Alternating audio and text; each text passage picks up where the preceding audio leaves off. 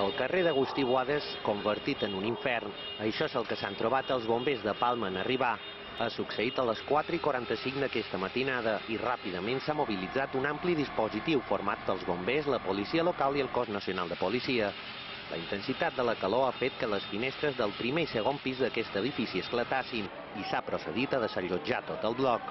També l'edifici de just davant. A més, ha rebentat l'aparador d'un comerç situat als baixos de l'edifici. A l'interior dormia un dels propietaris, que ha estat rescatat pels bombers i traslladat a zones pases. Avui de matí els veïnats encara no s'havien recuperat. Salimos fuera y, y había mucho humo y, y olía humo. Subió la policía y nos desalojó. Y, y estuvimos aquí en la calle hasta que nos dejaron subir arriba. Era imposible de dormir, o sea, me temblaban las piernas. O sea, no nos dejaron coger el ascensor y bajé desde el noveno hasta abajo con las, con las piernas temblando porque no, no podíamos hacer nada más. El foc es va iniciar a l'interior dels contenidors que a primera hora d'avui de matí ja han estat canviats. La principal hipòtesi dels bombers de Palma és que el foc hauria estat intencionat, tot i que la investigació la du a terme la Policia Nacional. Més clau tenen els veïnats, que asseguren haver viscut una onada d'incendis similars en els darrers mesos. I nosaltres en un any i mig mos peguen tres vegades foc en els contenedors.